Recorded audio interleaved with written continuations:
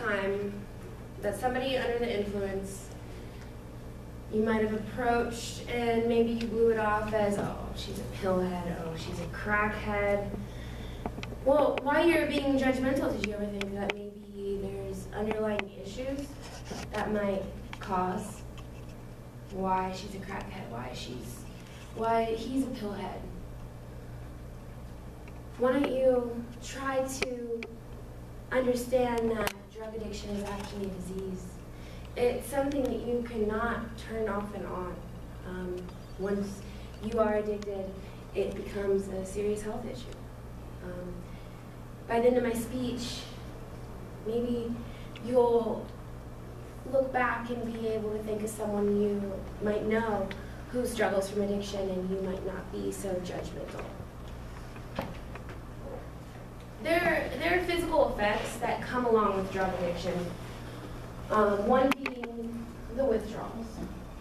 When you start using drugs, um, your body adapts to it.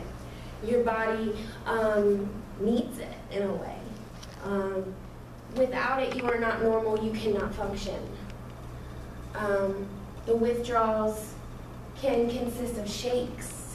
I'm talking about any drug addiction, crack, heroin, uh, alcohol, pills, um, shakes, sleeping, not sleeping, vomiting, diarrhea, uh, constant withdrawals. It's, it's absolutely just mind-blowing how horrible you can feel.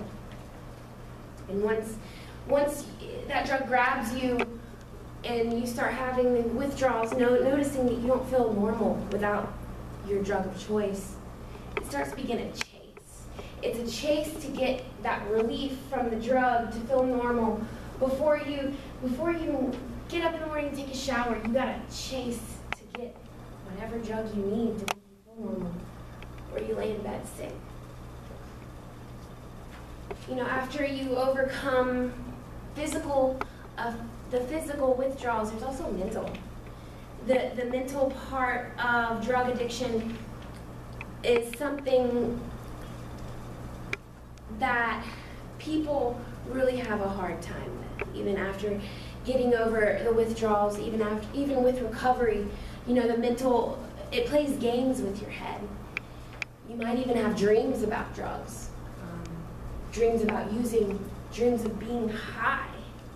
You might be able to relate to that, and it's a constant trigger, a reminder. It's constant right there in the back of your head saying, you know, do it, do it, do it, do it. It's, it, it, it's really the devil, if you think about it.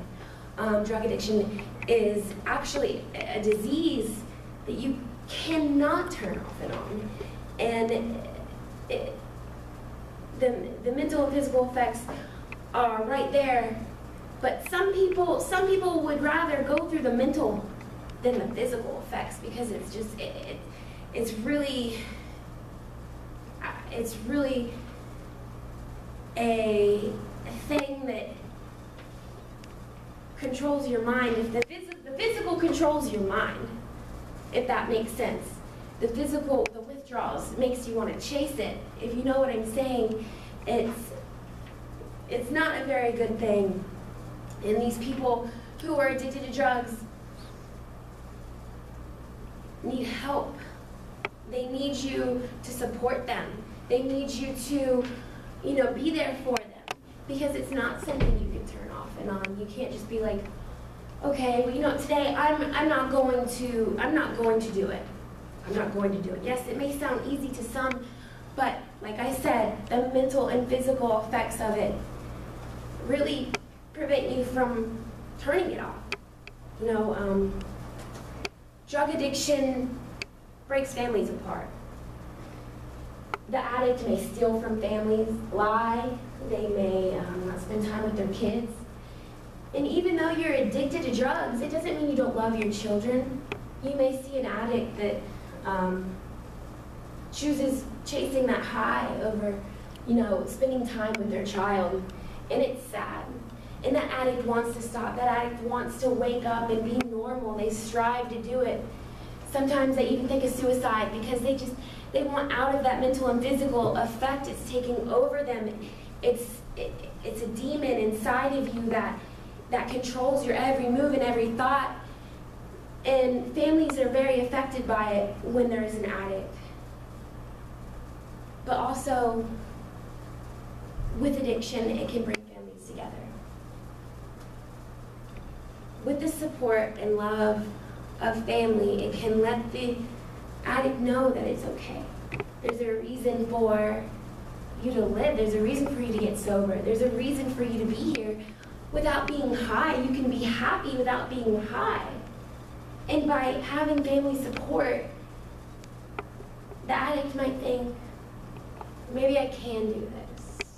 Maybe I'm not so much of a bad person after all. It's important to remember these things when coming in contact with an addict. It's an everyday struggle to feel normal. It's an everyday struggle to want to be normal.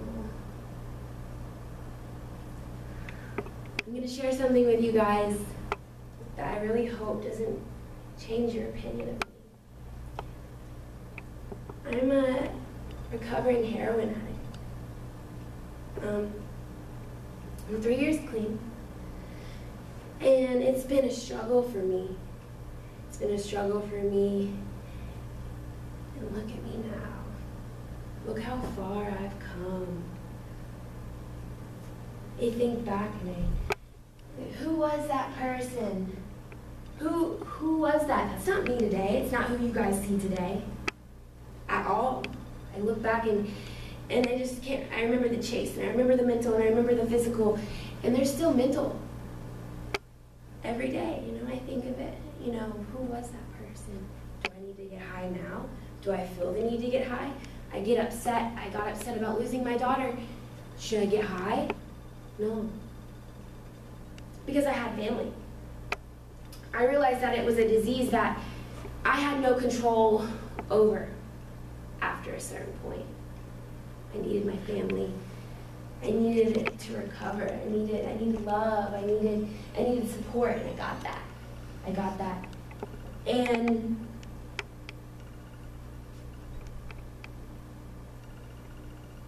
it's better now. I'm I'm happy. I hope you guys don't place judgment on me.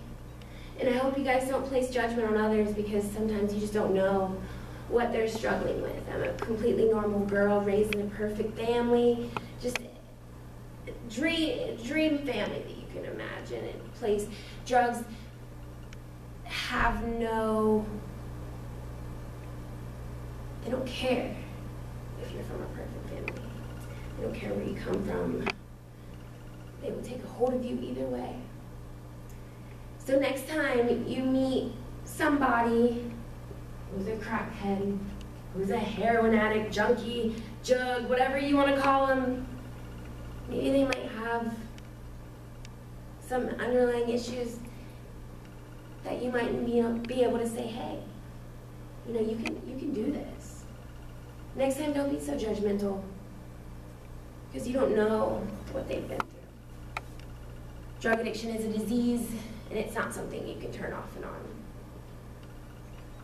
I know that from experience. But with recovery and support,